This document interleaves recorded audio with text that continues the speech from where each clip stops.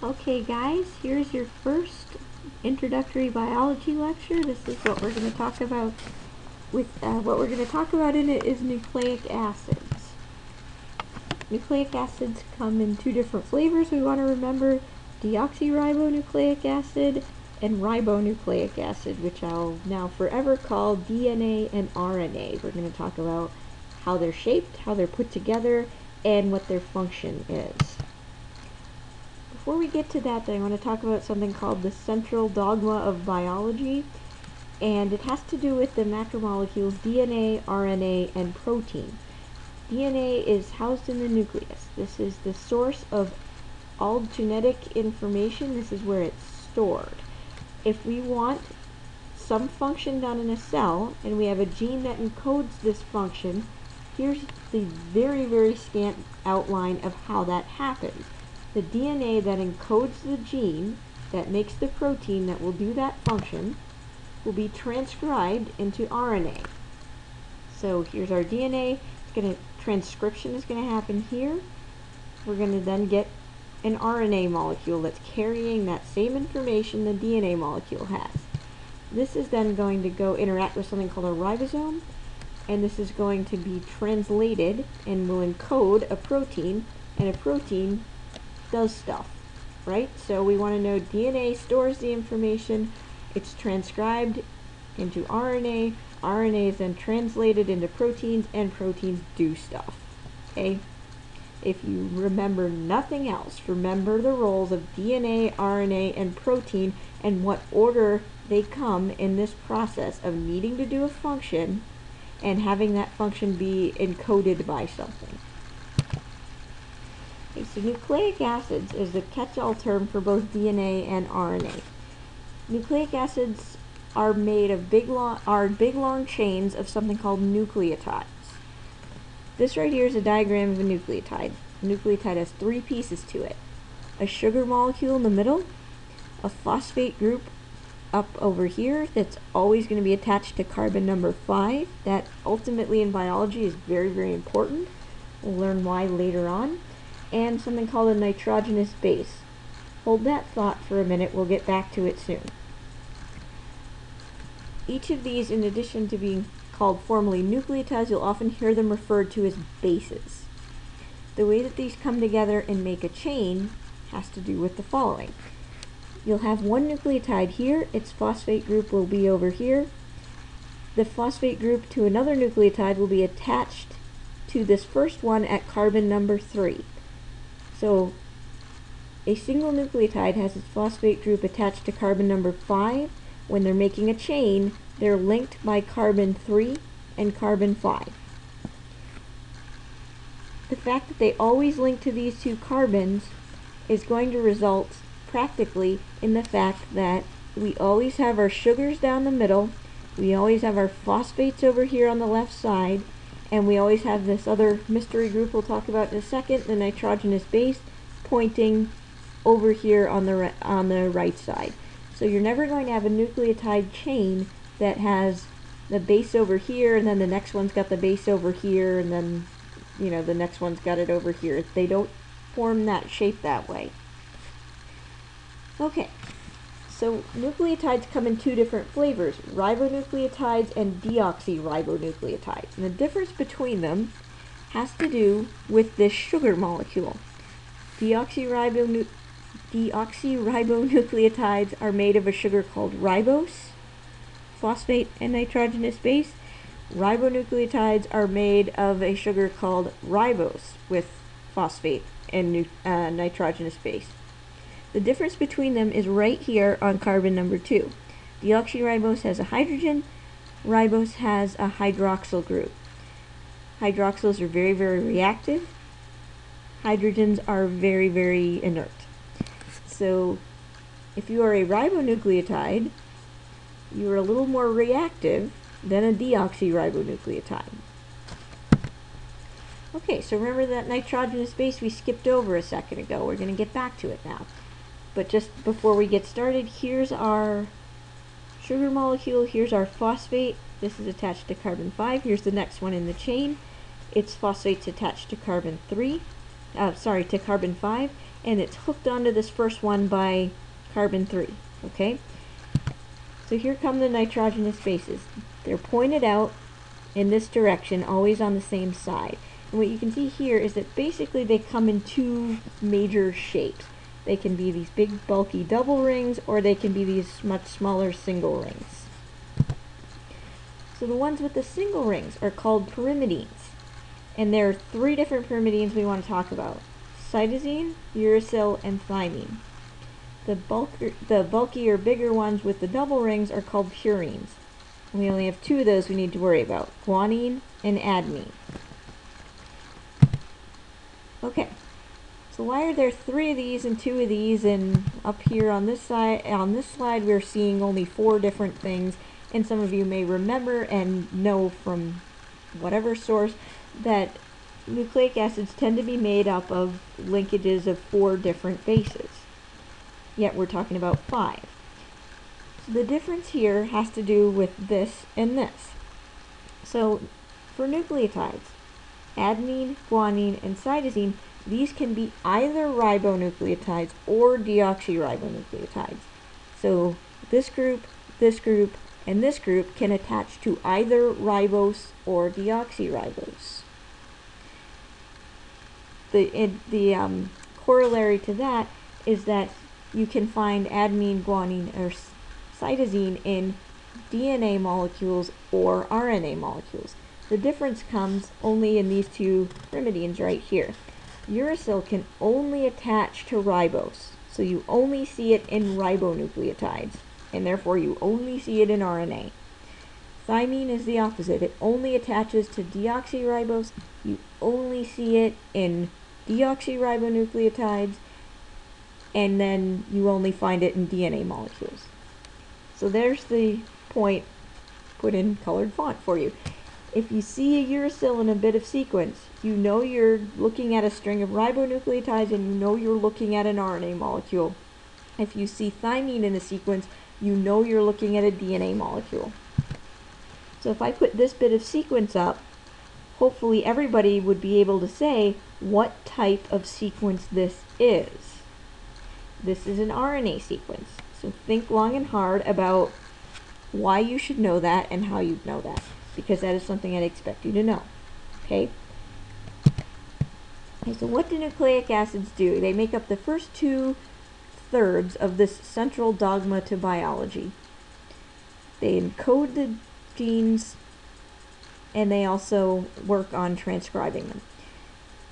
When nucleic acids were first discovered, uh, specifically DNA, it was called the secret of life. And here it was at the on the cover of Life magazine, which is of course now Time magazine.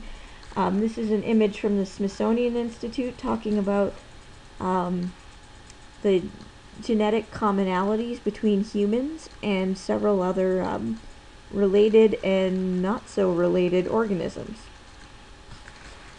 What DNA ultimately is, and was first recognized as, was a heritable material that generated this and described relationships between organisms.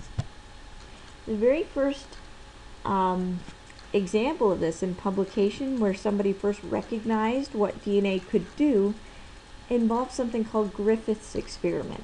So this guy was studying the bacterial organism Streptococcus pneumoniae. This is, as we'll learn later in the semester, this is a respiratory pathogen of humans. So what he observed was that he tended to find two different types of colonies of Strep pneumoniae. First were these ones that had kind of this gooey stuff on the surface. He called these smooth colonies, or S colonies. He also would then see these rough ones that didn't have this gooey stuff. They weren't as shiny, they were much drier. He called these rough colonies or R colonies. And an important point was that he noticed these smooth ones caused disease in mice, and these rough ones, and humans for that matter, and these rough ones did not what he found was that if he took these and he grew them in a lab and he kept passing the rough colonies, they never really lost that rough appearance. If he kept passing the smooth ones, on the other hand, they would lose their smooth appearance and become rough. So it seemed that the smooth colonies had something that they could lose. And the rough colonies didn't have something that made them rough, they just lacked something that made them smooth. So Griffith's experiment, a very famous experiment, it's a paper that was published in the 20s, very interesting read if anybody's ever up for it. What he did was he took four groups of mice and he infected them with different um, combinations of smooth and rough colonies. The first thing he did was a positive control. Just as a reminder, um, a positive control is something where you're expecting the outcome to work at its utmost, at its maximum, to make sure that your experimental system is working. The positive control in this case was that he took mice and he injected them with smooth bacteria, fully expecting that the mice would get sick and die, and that he would be able to recover smooth bacteria from them. That worked as expected. The negative control is completely the opposite, where you knowingly perform an experiment where you do not expect to see an effect to make sure that, that there's no uh, background problem that's going to create the illusion of an effect in your experiment. So in Griffith's case, he injected uh, rough bacteria into mice. The mice stayed perfectly healthy, and if he did get any bacteria back out, they were rough. So those are controls bear in mind anytime we're talking about an experiment, we want to make sure that we're recognizing what the best possible control is.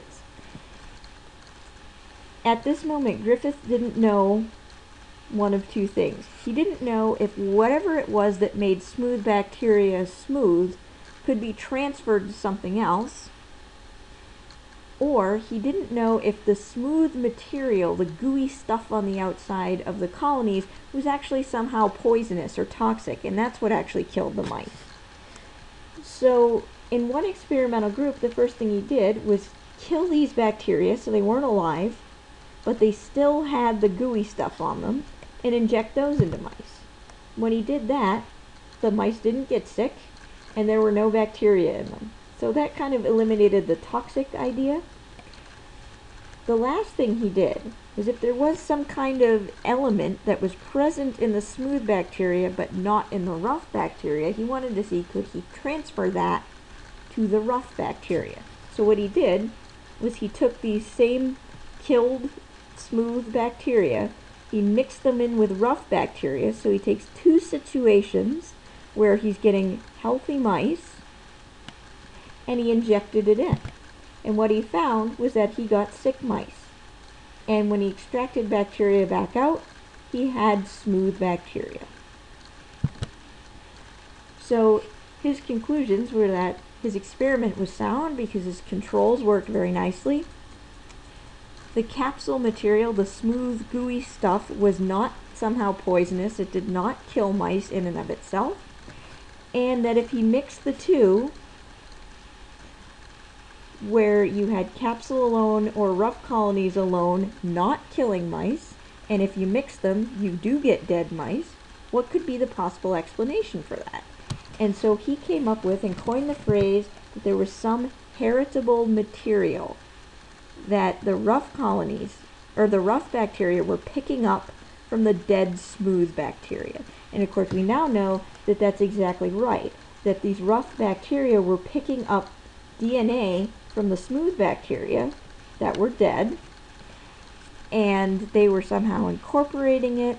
They were then expressing it. They were they were trans- having it be transcribed into RNA. That RNA was then being translated, making proteins that ultimately result in this smooth material that kills the mice. That when it's uh, in association with a live bacterial cell, kills the mice. So DNA structure, now to get back to this, is um, particularly important and has a lot to do with the fact that it's a very stable molecule. DNA structure is anti-parallel, meaning that there are two strands, two separate chains of uh, nucleic acid, sorry, two separate chains of um, deoxyribonucleotides. They face each other and one of them is upside down and backwards relative to the other. That's what antiparallel means. These don't just stay in a straight line, they actually interact um, on a secondary structural level and twist into this double helix structure that everybody hopefully is familiar with. The sugar phosphate backbone. So the um, so think of each one of these as that um, sugar pentagon and this phosphate group being up here and the next phosphate linked back to this. This is always on the outside. The nitrogenous base group always is on the inside and then the second strand is exactly the same way. The phosphate group is uh, the sugar phosphate backbone's on the outside and the nitrogenous base is facing the inside. What happens at this point, what holds these strands together, is that the two nitrogenous base groups interact with each other and form something called base pairs. The way that this works is that each functional base pair always has to have one purine and one pyrimidine, or one big bulky double ring and one small single ring. The pairings as they exist are always A pairing with T and G pairing with C. If we have an instance where somehow we have an A pairing with a G, what's going to happen is that this is going to bulge out like that and it's not going to work. We have DNA, uh, a whole suite of enzymes called DNA repair enzymes that are going to come say that's not right, cut it out and fix it. So why do we have to have purine and pyrimidine pairing? If you have two purines base pairing with each other, these are going to be too big and too bulky to make this a nice straight line that can then properly twist into a double helix. As I was saying a second ago, this is going to bulge out and it's not going to be able to form the proper shape of a DNA helix. On the other hand, why can't you have a pyrimidine-pyrimidine pairing? These two, while they're not going to be so big as to pucker the molecule out, they're too far apart to actually interact with each other. So DNA molecules, the two strands, are held together by hydrogen bonding. These two are not close enough together to create hydrogen bonds with one another that are going to hold these strands together. It's only when you have one purine and one pyrimidine that you have a pairing that's going to fit within these constraints and be close enough to form hydrogen bonds. So just to get back to those hydrogen bonds for a moment, um, what is known about DNA base pairing is that cytosine guanine pairs are stronger and more stable than adenine thymine pairs. It was thought for a long time that this had to do with hydrogen bonding. There are three spots on these pairings that are able to hydrogen bond, and there are only two here. Recent evidence suggests that this, this story is actually quite a bit more complicated than that, um, but I'll leave that to um, MolBio and Biochem to, to describe this link right here, um, hopefully on our class Blackboard page, you'll be able to find this PowerPoint file. You'll be able to link to this. This actually is a short animation showing you how these um, base pairings work and how these double helix molecules are actually put together. So if you'd like, and this is still not speaking to you, please go watch this video. It hopefully will help as you see it form in real time Just a few quick words about DNA and evolution. DNA as a molecule is highly structured and it's extremely stable. You can leave a tube of DNA on a lab bench top for months, come back, and still find some functional DNA in it. For biological evolution, that's good. If you have a beneficial mutation, a beneficial change, you want to make sure that you're recording that change in some molecule that's going to be able to keep it stably. For chemical evolution, that's not that great. If we're talking about um, biological macromolecules that are starting to take on the um, properties of actual living things, DNA is not a particularly good one to do that. It's not catalytic, it's not stable, it, sorry, it is stable, but that's not particularly good because it would just hang around forever. It can't really do anything in and of itself. It would just sit there. On the other hand, We're now going to talk about RNA, which is not terribly stable and extremely catalytic, extremely biologically active. One of the big differences between DNA and RNA has to do with their shape, and this is alluded to in this first slide. RNA comes in many different forms, it does many different functions, and you can find it assembling itself into many different shapes. First, in terms of similarities between these two molecules, they're both made of nucleotides. They both have this sugar phosphate backbone. And they both have their nitrogenous bases oriented on the same side. That's about where we stop. The differences between these two, some of them we've discussed already, and some of them we're about to learn. The first is that obviously they're made of, uh, RNA is made of ribonucleotides as opposed to deoxyribonucleotides. Ribonucleotides have ribose as opposed to deoxyribose. And as we mentioned again, RNA molecules have uracil in them, DNA molecules have thymine in them. One of the big differences we have not yet mentioned is that as opposed to being a double-stranded molecule, in the vast majority of instances, RNA is a single-stranded molecule, meaning there's no second backbone here and there's no base pairing as a general rule that goes on.